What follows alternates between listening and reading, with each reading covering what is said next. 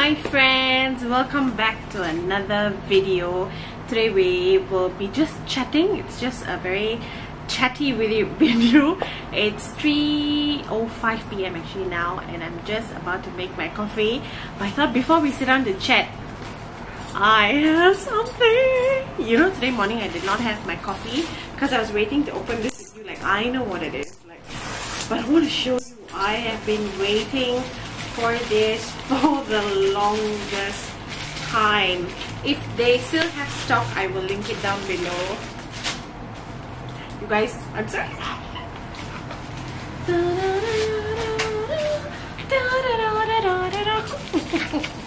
you know, I actually went to so many village grocers, Tesco, but I could not find the Hershey's caramel syrup and I've been wanting to make like my own caramel frap at home and I'm so excited. I can't even speak. I'm that excited. I actually wanted to do this actually came today morning and then I saw it I'm like oh my god I can't wait to make my coffee. But I was like no no no no. We shall have coffee together. So I've been waiting. So let me get my glass and hot water and then we can make our very own Starbucks inspired caramel frappuccino Okay, so I think first we will dilute uh, a little bit of sugar and coffee first. Because I want to like put caramel on the sides also. I'm so excited you guys. The little things in life. That was loud. I also like whacked my leg against the bathroom wall earlier while I was bathing and now my toes hurt. But nothing a little coffee can fix. Okay, so now we're gonna whisk it up. If uh, I will link the whisk down below. It's from Shopee by the way. This is also from Shopee.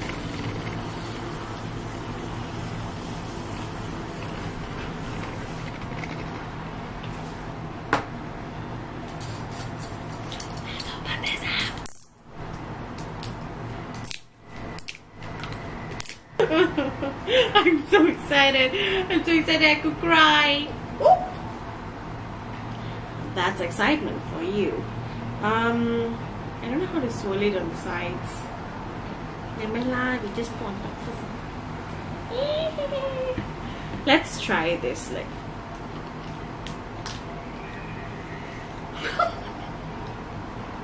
I must start drinking the bottle instead of coffee. Yay, pour, pour, pour. Just another whisk, just to mix everything together. Okay, now, do we want to add like a caramel drizzle on the top? On top? I think we should. Because we are an MCO, there's nothing much to do. Ah. okay, let's try it you guys, let's try it. Hmm?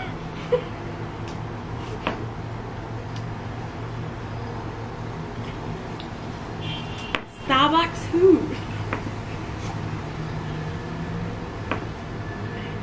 100% recommend getting a caramel syrup then.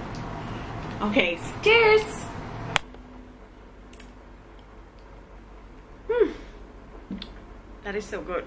Also, it's like going to rain, so I better start talking before like I lose complete daylight. Also, welcome back to like my bedroom corner, which I seem to like uh, sitting down and talking to you guys. Also i'm thinking i want to just make this like a non non-casual no no like a casual series here where we just sit down and i just talk about some stuff that is on my heart and all that stuff. It's nothing serious. It's just me giving my two cents and hopefully helping someone out there.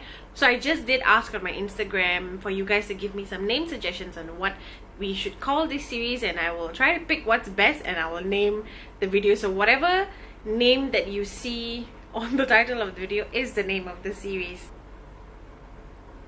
I actually sat down yesterday uh, to talk about this. I actually baked an entire cake an orange cake while talking uh, about what I want to talk today. And but when I was going to upload it I feel that something that I said in that video was not communicated well and there are possibilities for people to misunderstand and get hurt which is completely not my my plan at all.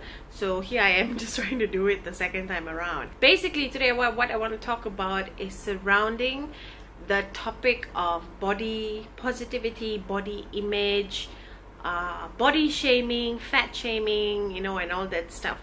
So it definitely comes from i mean a lot of you know what happened on social media. Um, a famous Malaysian couple posted something that uh, have definitely hurt a lot of us. And he have also he has also apologized. Um, so just this coming from that and of course i'm talking from the point of view of getting like so much of hate for being plus size. I'm just sitting down just to share my thoughts with uh, people that can relate with me. And i'm not going to spend my time today talking about what uh, they have done whoever whoever it is. I'm not gonna we're not gonna talk about what they are doing but i want to talk about us like you and me that are actually going through this. Uh, first thing i'm gonna put it out there. Being human is not easy. Like like every human being is constantly told they're not good enough. So this may not necessarily apply to only plus size people. It definitely applies to a lot of us but because I have first-hand experience what it means to be plus size I'm definitely going to be speaking from that perspective. But this goes to everybody people who are anorexic people who are constantly shamed for being very thin. You know you get what I'm trying to say. Growing up if you are plus size growing up it's never easy. It's never easy going through life having your closest people uh, family friends relations working colleagues cousins siblings whatever constantly call you names, constantly tell you uh, that you're not good enough, constantly say that your beauty is defined by how you look on the outside. And it's not easy doing that. It affects us mentally, it affects our confidence it and as it affects our confidence it affects the way we walk the way we talk the way we interact with people it affects all of that. And i've noticed with being plus size um, the moment someone says something like you know oh you look like an elephant oh if you're a bit more thinner you'll be so pretty we get really affected by comments like this. And i want to say it stems from not just that comment because people who say this would be like hey i'm just saying it as a joke. But we have heard this like 2000 3000 times that it definitely hurts. So i'm just putting it out there. If you are plus size if you're going through the same journey as me as i it's not easy it's not easy. But so this is what i actually want to talk about. I want to talk about how we are handling the situation. So you see in life no matter how much we want this world to be a kind loving place.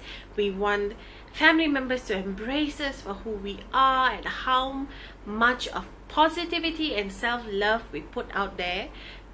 There will always be people that don't agree with us. That is how life works because you see even five fingers every finger is not the same kind it's the same concept not everybody will agree with you not everybody will love you not everybody will see things from the way you see it and it's okay. So that's what i want to say actually. It's totally okay if someone doesn't think beauty standards have changed if so it's totally okay if someone thinks like oh you would look prettier if you reduced weight. I mean it's whatever. Like i would say try to look at it in a way like oh you think like that yeah that's opinion like it doesn't bother me it's i'm who i am.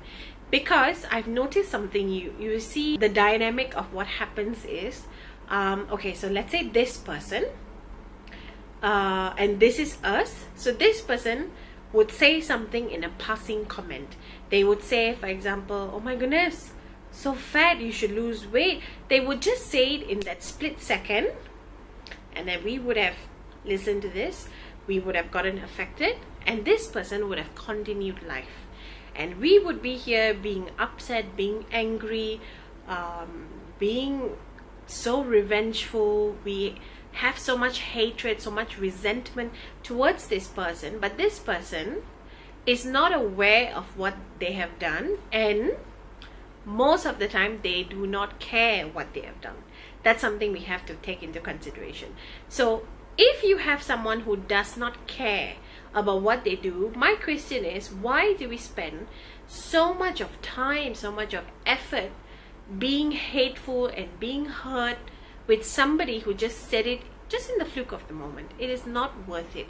Because we would spend hours like i have done this. This is all coming from personal experience. I'm not sitting here saying i've never done this before. It's a personal experience. I've done this but i've realized what a waste of my time this has been. Um, because what happens is uh, let's say i'm a very positive person.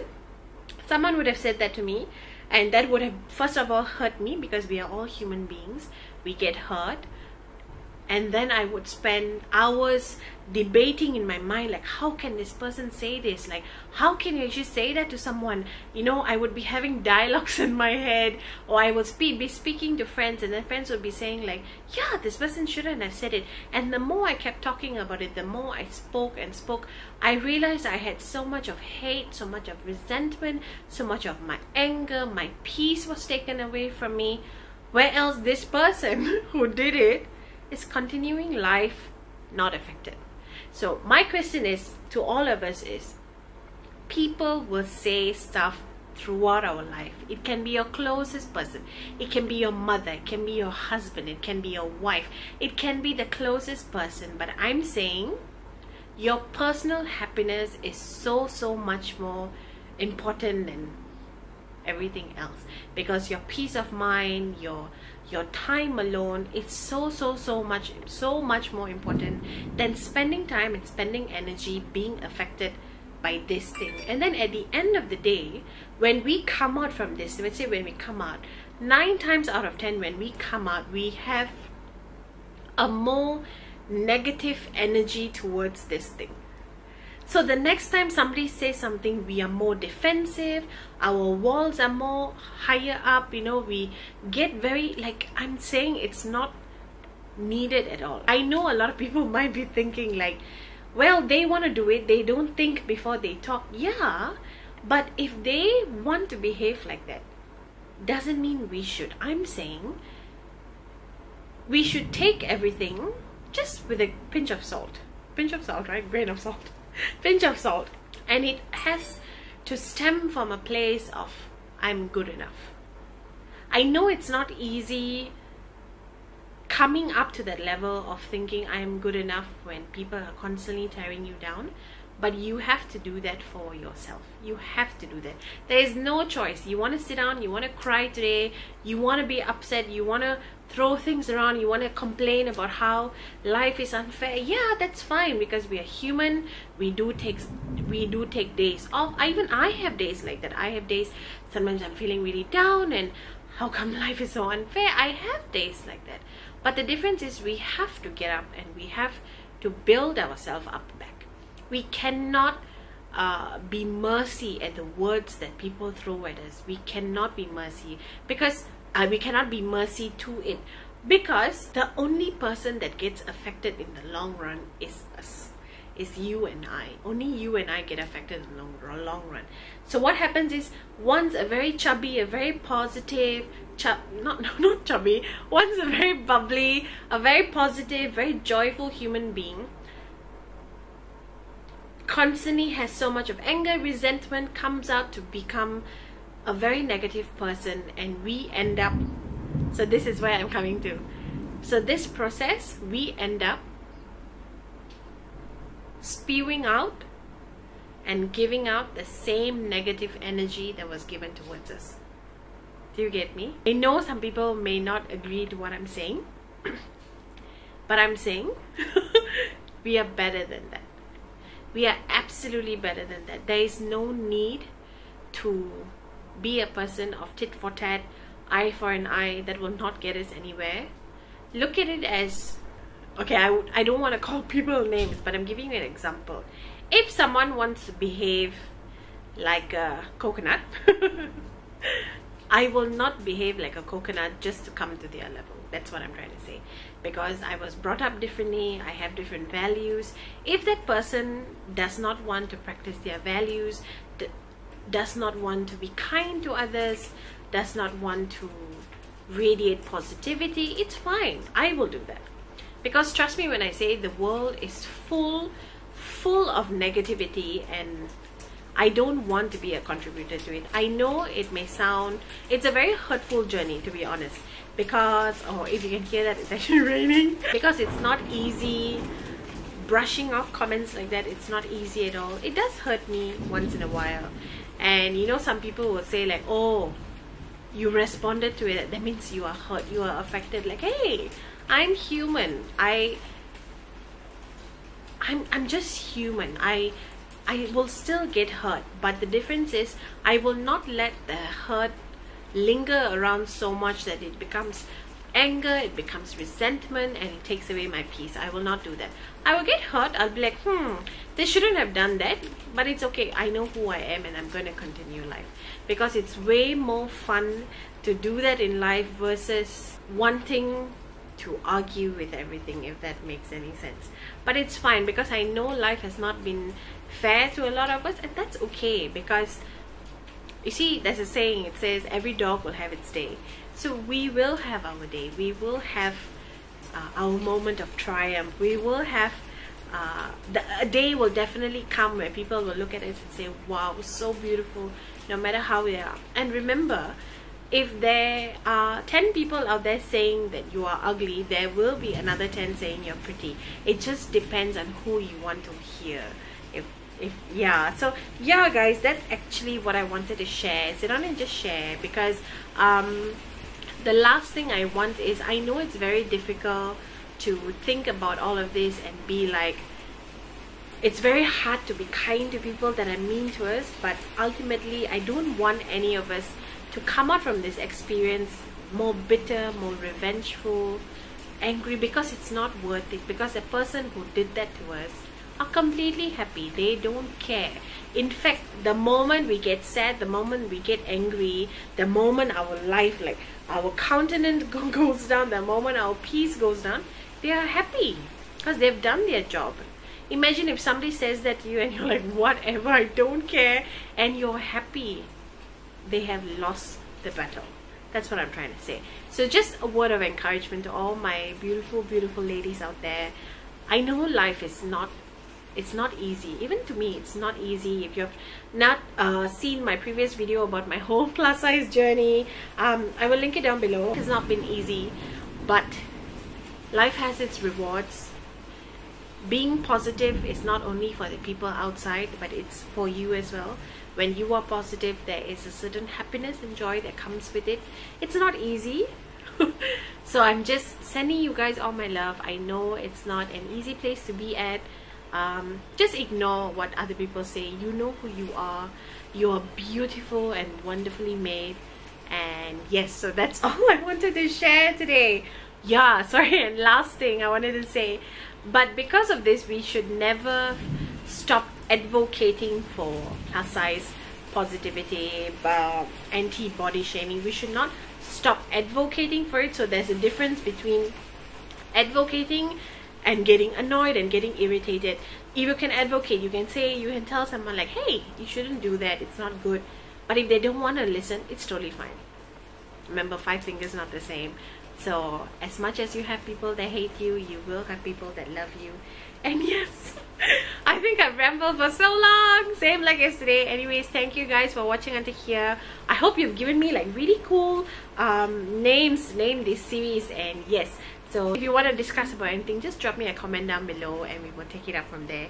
Hope you enjoyed this really long rambly video. And yeah so thank you so much for everyone that watched under here if you're new don't forget to subscribe and i'll see you guys in my next video. Bye